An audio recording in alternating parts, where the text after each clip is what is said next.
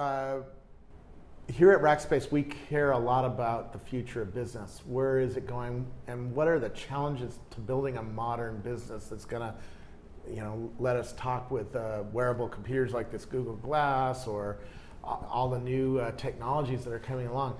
New Relic is one of those companies that developers use to watch the performance of their systems, but New Relic is becoming more than that. And I wanted to meet the uh, CEO and find out what they're doing. So right now we're going to talk to New Relic.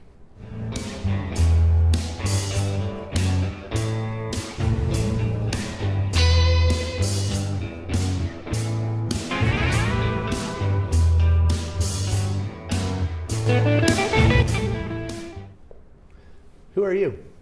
My name is Lew Cirne, and I'm the founder and CEO of New Relic.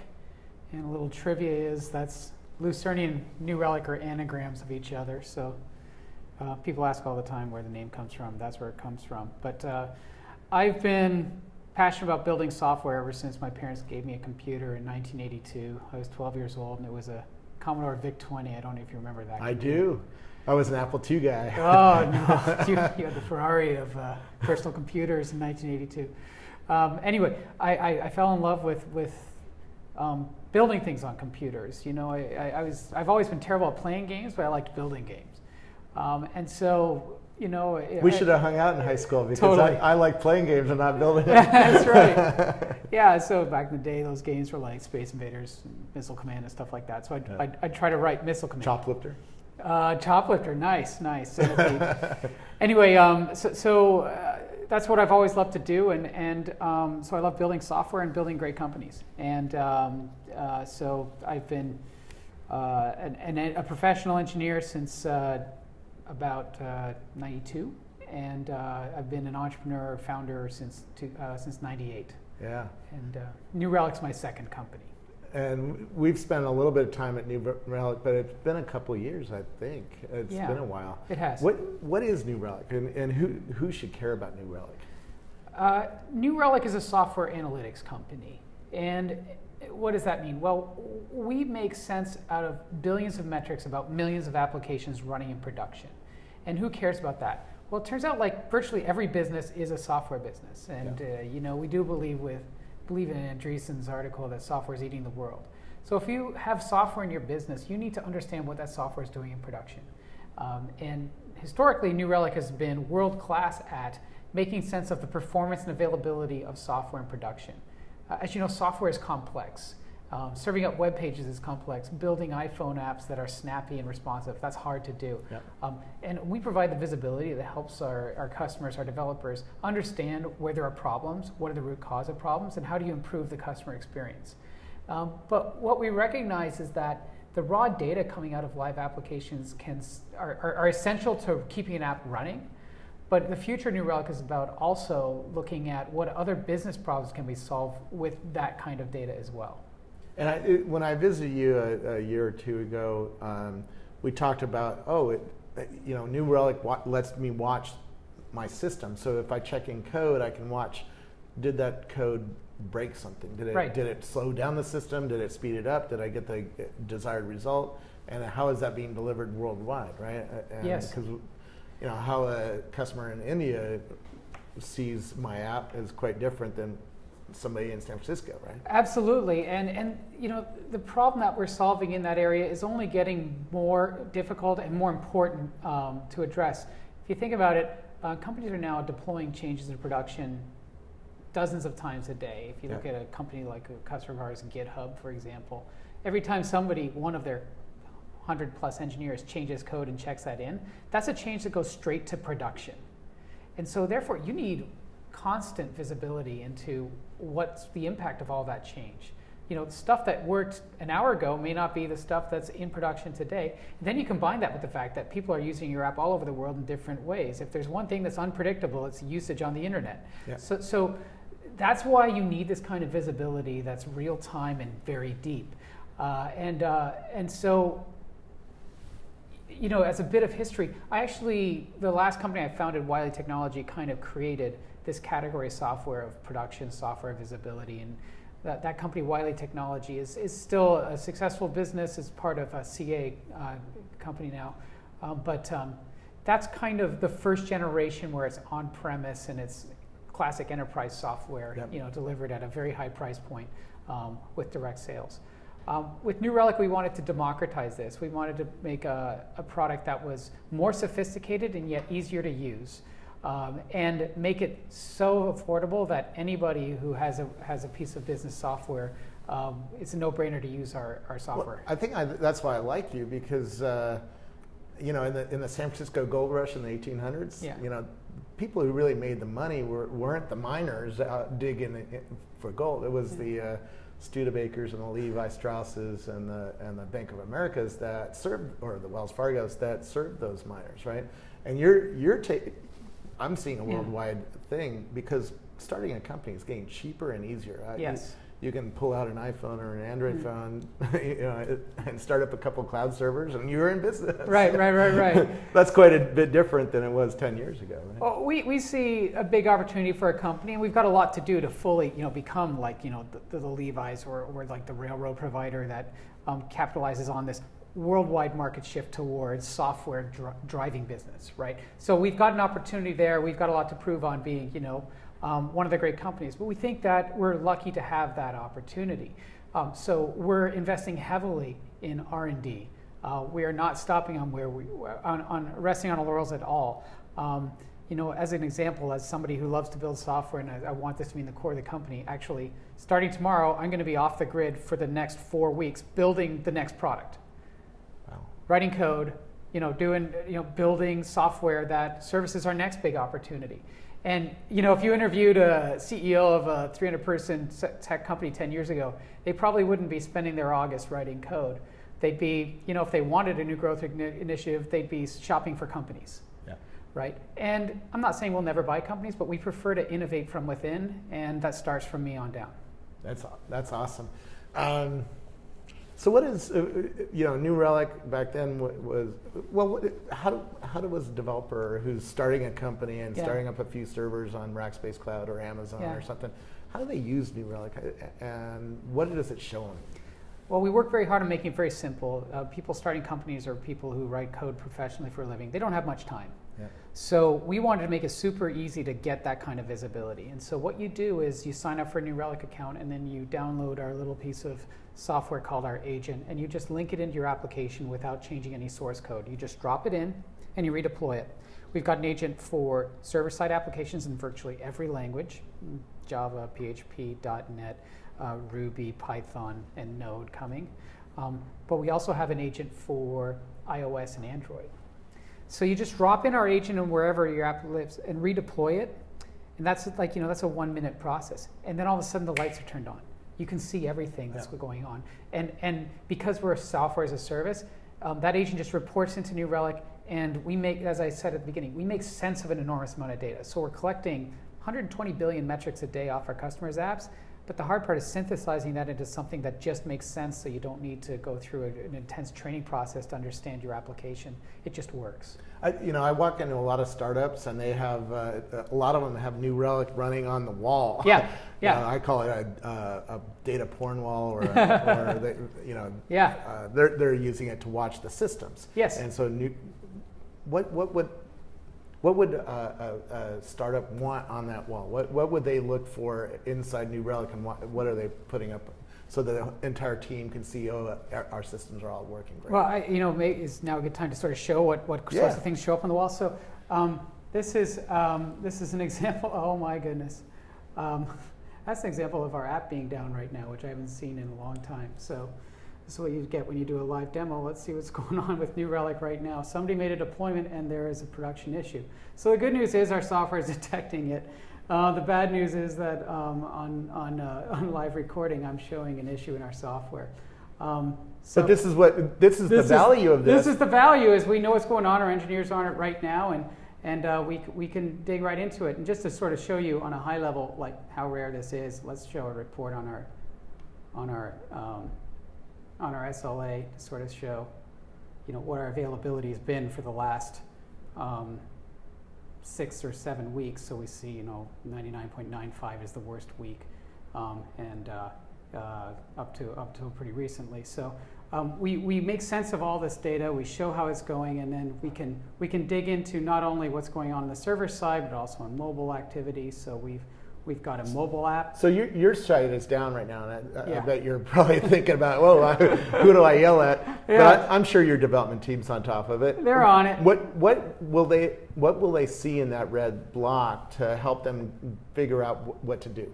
Because this is real real way, world is and real how world. business so, works. So first of all, I can tell right away that it's a deployment. As I say, production's changing all the time, and we're no exception to that. So Yep. let's look at what happened. Um, okay, deployment went happened um, just as the interview started, um, and we see an immediate um, slowdown in request queuing and database time, it correlating with the red bar being an outage. yeah. So what's interesting here is request queuing is time spent waiting to for, for an available Ruby process to generate a web request. So that's going way up. It means we've run out of capacity. But what I also see right away is if I hide that, I see database spiked. Yep. So I haven't even left the first page yet, and I know I've got a database problem that's related to production change. Probably some code that's using the database in a different way. I, I'm doing this live. I don't know uh, um, what we're going to see here, but let's see if we get some more information by clicking on the database segment. We see right away um, our selects and our, um, our actually our non-select, our sort of other statements are, are going through the roof. In fact, I can see the exact query. Here we are. We've got an 80 second query that just came in that is almost certainly the cause of the problem. Here's the stack trace of the code. Um, so th- this code called this select statement, which is now impacting our production site. So in, in three clicks, we know what's going on. We'll roll it back or we'll fix the query to get the site back up. Um, the point is, our customers use this software every day. You know, absent this. How would we find out about it? Well, um, probably through angry, angry phone calls, tweets, something like that. And then there's just, uh, well, you know, did someone deploy to production? Well, if deployments are constant, you don't know, you know, if the deployment caused it. You don't know if it's related to the database. It could have been somebody tweaked a setting on a server or any other number of things. Um, and, and so you're stuck with guesswork. Um, with New Relic, you've got that real visibility that takes the guesswork out, and you know you can diagnose a problem in a couple clicks. No, this is really cool. And so that person who just checked in that code can uncheck it out, and uh, the system. And his code is now available for everyone to see here on, on, on your show to show, uh, you know, it's, it's, it's, it's one way to make sure people are, are careful with what they put into production is uh, um, it might show up on your show if, if not. But this is this is how the real world business works, right? Yeah. Because you know, if you're a Procter and Gamble or General Motors or Toyota or Union Pacific, right? They're putting uh, software in the rail. They're putting sensors in the rails that are going that are watched by software. Yes. And if those if that software starts going down for some reason, you need to know how to fix it and what went wrong and, and Totally, all that totally. stuff. It's, it's, it's, well, think about it this way. Um, you know, financial markets are very mature, right? And, and so in that, um, there have been decades of, you know, that's just why there's, there's generally extended, uh, accepted accounting principles and there's analysts that know what metrics to look for to understand the value of a business or assess the value of business, things like that. But imagine trying to assess whether you should invest in a company if you had no data about that company, if you didn't know whether their sales were increasing or whether their, their gross margins. So basically, we're bringing that level of maturity to software, which is a, a, newer thing to really assess the health of. You know, people can assess the health of companies by looking at their financials. Um, so, so taking that kind of best practice of what do you measure, how do you present it, so that people can assess health and then take action when there's when there are there's poor health. Every software system needs that, and therefore every business needs it. Yeah. Um, how much does this cost uh, an average? Let's say, let's say startup. Yeah. How does So, how do, how so do we've got a variety of product levels depending on um, the type of business you're in and, and where you're at. Uh, first off, if you're a Rackspace cloud customer, you can get the New Relic standard product for free, unlimited. That's nice. So, and that's a normal value of uh, $49 a month um, or uh, per server, or $24 a month per server on a, uh, if you commit to a year. Um, so, you know, that's, uh, that's a significant value for, you know, value add for being a Rackspace customer. Um, and uh, we happen to have that with some other partners as well. Um, and then our professional product, um, which gives a higher level of depth of visibility, some of the features I show to get right to the pinpoint cause, that's $120 a month per server um, on an annual plan. Um, and uh, you know, if you've got a large number of servers, then our sales team definitely will talk to you and work out a plan that works Yeah. for you because um, So if you're an Adobe and you have 20,000 servers or Right, something, right. pro- probably talk to your sales team. That's an, uh, that is a precise example of a customer. Adobe is a customer that has a large number of servers, and it's you know it's a negotiated thing depending on their environment, the type of servers running on, that sort of thing. Um, and so you know while we've got you know 50,000 accounts using New Relic, um, many of them small startups, um, and I love that about our company is that we help small startups be successful and build great companies. Um, but we also have household name companies. Um, um, like Comcast and Nike and Disney and, um, and, and, and some newer like successful companies that are kind of broken out like Airbnb and Groupon. Th- these companies like you, you know they are that kind of um, not only on the big screen at uh, you know in, in their lobbies but also on developers' desktops to keep an eye on production. Yeah. How, how is New Relic changing now, and what are you thinking about for the next month? Because you're taking a month off to code. Yeah, right? well, you know, I kind of think of it as um, it's kind of like when the artist goes into the studio to create a new album. You've got some general idea, but you don't know until the end of the month whether you just like you know wasted a month trying to you know trying to come up with. But I'm trying to create something new, right? Yeah. Um, uh, in general, my habits and my preferences are to build new categories of software. So there was no such thing as application performance management or production visibility for software when I started um, my last company, Wily, and then there was nothing like um, doing it in a SaaS model with New SaaS model with New Relic, and so that created a whole new market. So. Yeah. Um, what we'll do next, I, I, I think, is going to be something that you can't say, oh, it's like this other company, they do the same thing. Um, but, but I want to leverage a lot of the assets that New Relic has. New Relic is very good at collecting an enormous amount of data from applications, doing it in a secure way so that our customers are confident that their data is in a, in a secure place and it's well managed, um, doing it um, reliably, et cetera. Um, and, and we have presence in, as I say, millions of applications in handsets and on servers. Yeah. So um, I think there is more value we can do with the data we collect, provide to our customers.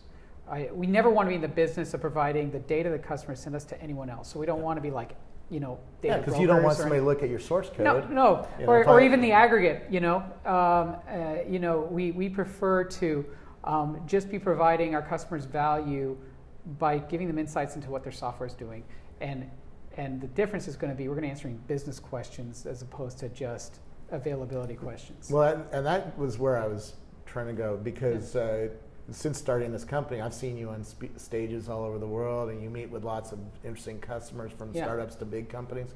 What are you seeing happen in business? What What do you think is the trend that um, you know that you're trying to uh, stay ahead of? Or uh, you know, I'm writing a book on the Yeah. age of context, so I'm Yeah. seeing wearables and sensors and sure, sure. uh, that's, that's social data change. is going crazy and location data is going crazy. And so that means that there's a new world that's possible. Well, I think the business world is rightfully getting excited about using data to make better decisions, as opposed to using opinion or emotion to make better decisions.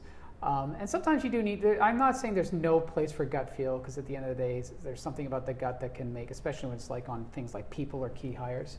Um, but there's a lot of business decisions, very important business decisions, that need to be made with with the help of data, that aren't being made with adequate or well well collected or well presented data.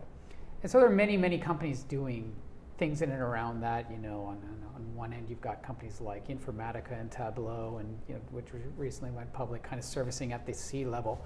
Um, but I think there are opportunities for, and, and of course, the, the, the quote big data companies and companies like uh, Hortonworks and Cloudera um, doing, you know, making an investment in Hadoop to, as a key part of that. Um, I think New Relic has a place somewhere in and around that space. Uh, because at the end of the day, what's the raw data that people are analyzing? It's usually raw data that's coming out of live software. Yeah. It's not from handwritten surveys. Nope. It's from somebody bought something online, and what did they do before they bought something online? Where did they come from? How did they leave? You know, that kind of stuff.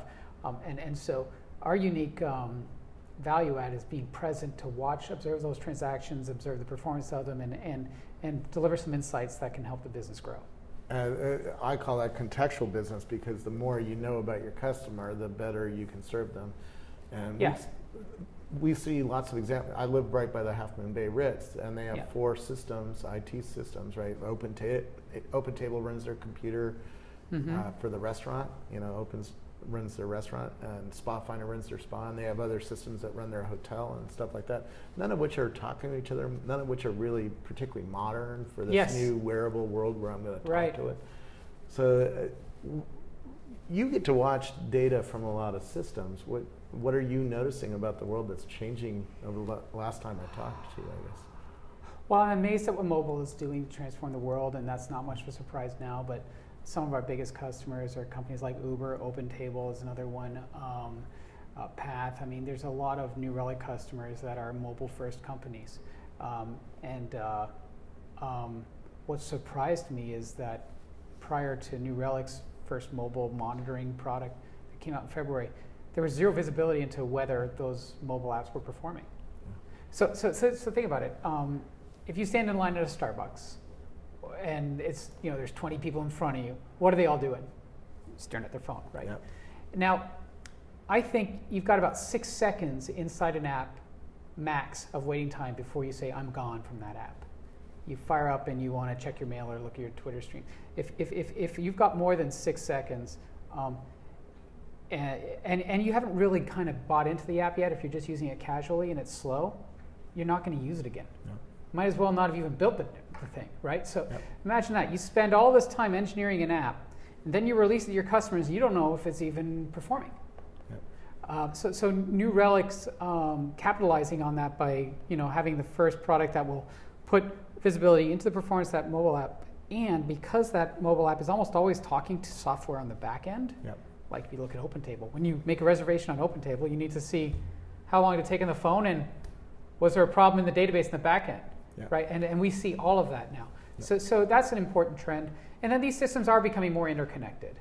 Um, and so, Yeah, we, um, we just talked to MindTouch, and he said he built his entire company to be API'd so that uh, another system can talk to it, and he can hook up to SAP and other systems, Salesforce, Absolutely. and bring data into his system, right?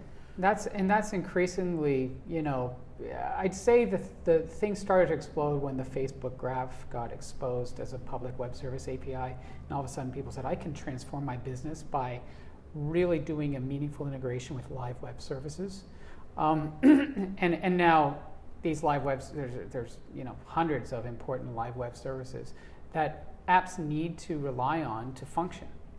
Um, and so you need to understand your dependency and not only on what's inside your data center or in the cloud portion of cloud that you, you have responsibility for, and versus external systems. And uh, we happen to be very good at that. Can you, uh, you know, um, back when cloud was first starting up, and and I was talking to developers at Microsoft, they were thinking about we we're eventually going to know the cost of writing a line of code, you know, because uh, it's gonna it's gonna if you have a million customers, it's gonna need so much compute, and it's gonna need so much uh, uh, Right. bandwidth, and it's gonna need so much uh, storage space to make that line of code access. Have we gotten anything close to that where we can start analyzing the cost of the systems that we're building, the potential Um, cost? Because for a startup, that's really, you know, it's like how much money am I going to need to raise to keep the system running? You know, if I get to a million or a hundred million users, you know. Um, my experience in software is that you're not going to know the general cost to run a system until you, start seeing it run with real production load. And so the best practice that I recommend is um, build deep monitoring like what New Relic offers into your strategy to understand and manage your cost of growth on the infrastructure side. Um, so, as I said, um, we collect an enormous amount of data 110 billion, 120 billion metrics a day. Um, uh, but it's a small deployment. Our, our hosting bill is 3% of revenues. Um, most SaaS companies, their hosting bill can be 10, 15% of revenues. Well, how did we manage to be so efficient in collecting so much data on a relatively small number of servers? We started from the ground at looking what New Relic told us where the bottlenecks were in designing for efficiency in the key parts of the system rather than define, you know, you can't pre-design for efficiency without understanding how the system behaves in production uh, under real load. Um, and we provide that, that information that helps us devi- not only fix problems, but design a system for scale. And that, that's bottom line efficiency of the business, right? If we can, if we can cut our hosting bill in half because we run on half the number of needed servers, Yep. that's straight to the bottom line. Um, and, and so that, that's a meaningful business impact. If you're sitting down with a CTO of a startup or a big company, what kinds of things do you would you want them to measure about their business to get to that point where you really understand what resources are needed and what's happening in the system? You know, it really just comes down to understanding your transaction mix. Um, you know, if you've, you know, let's say you've got, uh, you're an e-commerce site, you want to, you, you've got 400,000 users on the site, you want to get to 4 million. Well, understanding what percentage those users are browsing versus buying versus um, putting things in carts. And what's, uh, um, you know, how do you want that transaction, transaction mix to grow in the future? And then um, what's the, what is the, um, infrastructure required to support that trans- transaction mix at scale. And then kind of predicting, you know, early on you can just sort of say, well, if I want to double the throughput, I'm just going to double the amount of hardware if, if I'm at capacity right now. But, uh, you know, there comes a point when you need to break things down or, you know, go from vertical to horizontal scaling or what have you, where you need to reassess some fundamental design decisions. And, and the data that New Relic provides ought to ought to help you make your judgment calls on when you should do that. Yeah. Um, and so it, it really does kind of, I mean, like designing software is hard, and, and software developers, um, um, you know, they do meaningfully important and hard work. And so we're not just a magic wand that will make that, you know, a, a, a trivial problem to solve. But what they often lack is good data to make the right decisions Yeah. that can project, for example, cost of running the business. Well, you, you were talking about conversion rates of an e-commerce site. Yeah. Can New Relic can watch the performance of the system? Did the Yeah. page get loaded fast? Right. But can you also correlate that to conversion rates, or are you watching conversion rates? Or I think that's an opportunity for us. In other words, business metrics, not just speed of page loads and That's, stuff like that. that's the type of opportunity we think we've got a large so that's your next in. month, huh? We'll see. We'll see. Um, you know, it really is like the artist going to the studio. It's like I think I know what song I'm going to write, but then at the end of the month, like I wrote something entirely different, and Yeah. you know, I went in with a guitar and I came out with a piano. Um, but uh, there's something there. There's Yeah. something there. You know, understanding whether a faster, how much, how much having a faster site improves the conversion rate or the health of the Yeah. business. Um, and what about feature usage as, as it relates to, you know, if some, a subset of your customers are spending a lot um, on your site, is it based on what features they use or what time of day they log in or, you know, who knows? the contextual customer, knowing the context of why somebody got to the, that decision or how they got there and how it was affected is really important. I, that might Yeah. a- affect your marketing mix, Yes, right? yes. If you know that everybody, you know, Yeah. came from YouTube and Yeah. clicked on an ad and they're the ones that are buying, that that might make you spend more on YouTube, right? And same thing Absolutely, on Twitter absolutely, absolutely. Those those kinds of insights we think are uh, potentially available from the data we collect, um, and can change the vector of your business. Interesting. Um, you know, I- I was talking to Factual CEO, and he he runs uh, the location systems underneath Yelp and um, Apple and other other companies, Foursquare, stuff like that. Yeah, And we talked about how much the infrastructure has changed in the last five years. Uh, he's using Mongo now, and he's using XYZ new Yeah, technology. yeah.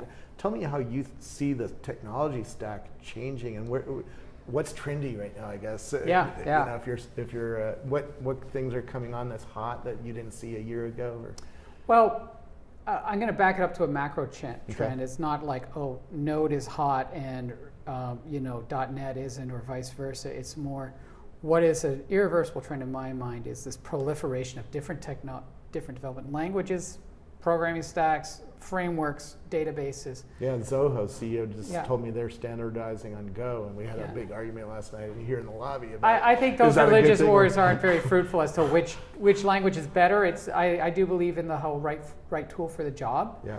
Um, so, but that drives our strategy. So.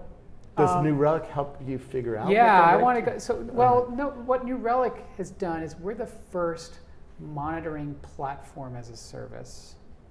And what I mean by that is, um, last month we announced the New Relic platform with 45 plugins, um, including one from Rackspace, that cover the entire environment.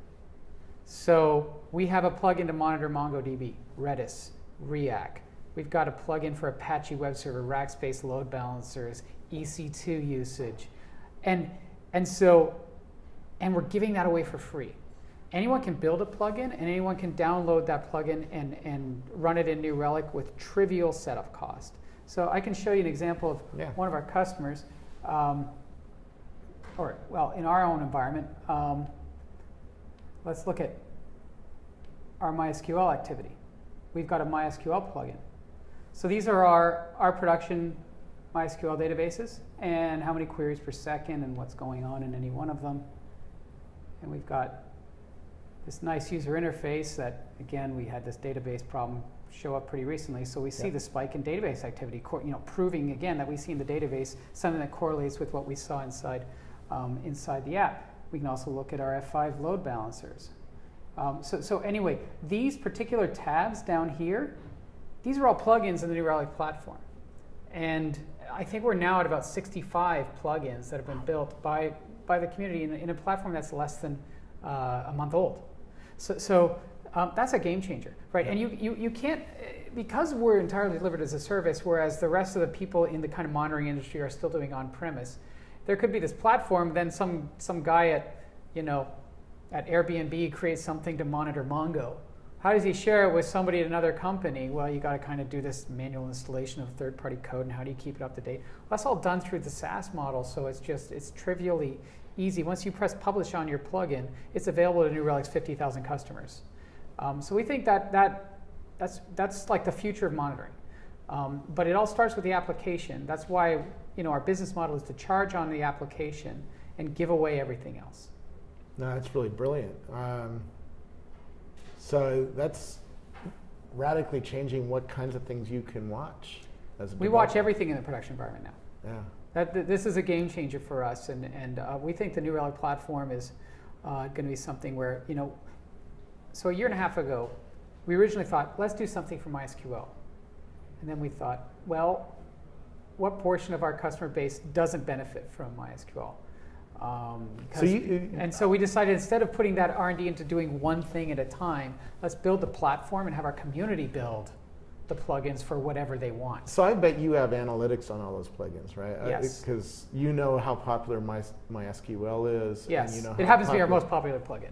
Probably is. Yeah. but we absolutely know what, what numbers two through 10 are. So can you build a chart of over time, over the next two years, of how popular Mongo is versus MySQL? In our customer base, yes. And are you sharing that in the public? Can, can people watch that? You know, and, or are you gonna? We haven't decided what to do with it yet. Yeah, that sounds like a great blog as this- post. yeah, it is.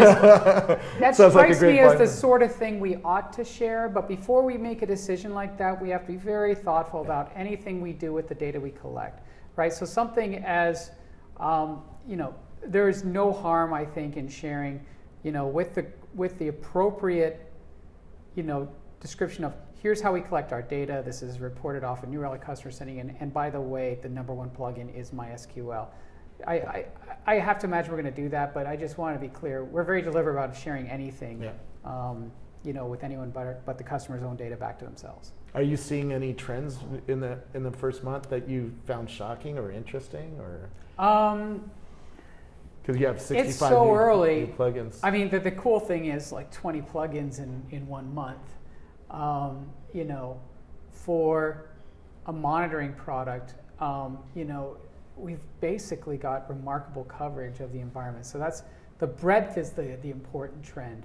Um, and, you know, over a 30 day period, uh, the numbers aren't moving too much. It, it- we need a longer period to kind of say, oh, this is like, you know, Cassandra's really moving on, moving, getting, getting ahead of steam or something like that. We don't know. Uh, it's too early to tell. Interesting. But uh, over the next year, that'll be an interesting thing to check back with you on and see if you're learning something about the development environment that Yeah. you, you weren't uh, expecting to learn, I guess. Absolutely, Yeah. absolutely. Which is always fun. It when is. You, when you build platforms, you don't know how people are going to use it or and what's going what you're going to learn from building that, right? That's right. That's right. That's the exciting thing about it. And and the other cool thing about it is um, because of the nature of our business, virtually every one of our 50,000 customers um, have one or more developers, right? Yeah. So our customers um, our users are developers. So every one of them is a plugin, a potential plugin builder. Yeah. Um, and That's that- an interesting question. Are you, can a development team track anything by the person, by the code, the person who's checking in the code? Yes. Can, like that guy who checked in that code is he going to get a little red mark on his name? Uh, and you're going to know who's Well, got- there- you who, know, who I- writes clean code and who breaks builds. You know, at Microsoft we used to have signs around the, the Windows Uh. team: "Don't break the build." You know. there are various ways to motivate developers, and we, you know, we, we like to motivate by encouraging. I prefer the carrot to the stick, but the Yeah. point is, we certainly can see who made check-ins, who made changes, and, and correlate that with, um, you know, who to go to to ask for help on a production issue. right. Um, and and that's Can you use that though to have a little? Hey, you haven't checked in code for three months. What's going on? Are you, you know? and Yeah, I mean, like maybe you are working on a bigger project off to the side, not. No, we in. don't. We don't observe the, the, the commit history. Like you know, I, I would think that a company like GitHub or or Atlassian is better suited to looking at like you know, the code history on a on a per developer basis, and not only how often they check in, but how complex their code is. Whereas um, you know, you know, what's the history of unit test failures by developer, things like that. Um, again, uh, I personally wouldn't be excited about building an engineering culture that was too obsessed on that sort of stuff because I think you can mess it up pretty easily. But um, there's certainly some opportunities to do more with data around what code is being checked in. What what other companies around you are doing interesting work? Because you you- are, you know, you're you're partnering with a lot of companies like Rackspace and Amazon and so forth, but you're also watching a, a lot of things that are affecting the developer team. Are, you seeing anybody doing interesting work, not as a competitor, but as Yeah. somebody in the ecosystem? Um, well, I've always had a lot of respect for GitHub and how they've managed to build a product that just, you know, like almost overnight, um, you know, created a whole new, new way of sharing source and advertising yourself to the rest of the developer community. You know, you know the, the, the LinkedIn profile in a way as being uh, for developers is being supplanted by the, the, the GitHub homepage.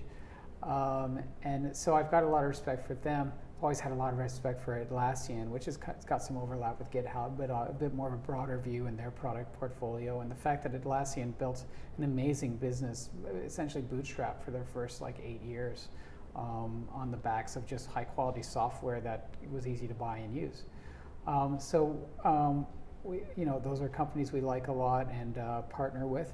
Um, and then, uh, you know, on on the mobile side, you know, there's um, StackMob and Parse and a few of these other companies that are doing um, interesting things um, uh, to make it easier to build mobile apps and you know take some of the burden of server-side logic off of the mobile app developer, and that, that's why they're important partners with us in our mobile product initiative.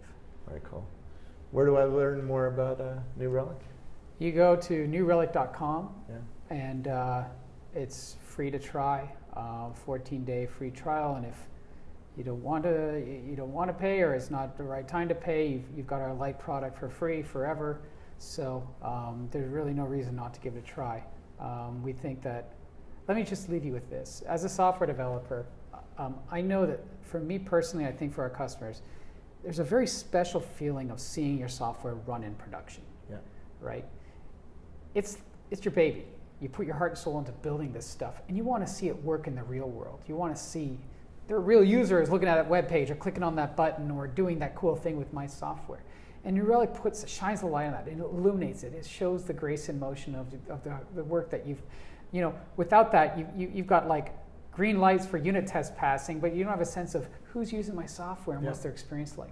And that's why I think our customers love what we do is because it helps them connect with their greatest work. Um, and we just want to continue to do that for our customers. Very cool. Thanks so much for coming in and right. uh, talking about the, what you're learning from the platform that you just shipped. It's Uh, really it's, cool. it's a pleasure. Great to see you. Thank you so thanks. much. And thanks for what you do for our customers as well. Oh, it's, it's a pleasure to partner with you guys. Thanks.